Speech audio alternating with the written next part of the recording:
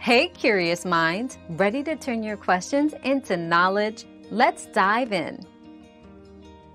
UGG slippers are not necessarily ruined if they get wet, but proper care is essential to maintain their condition.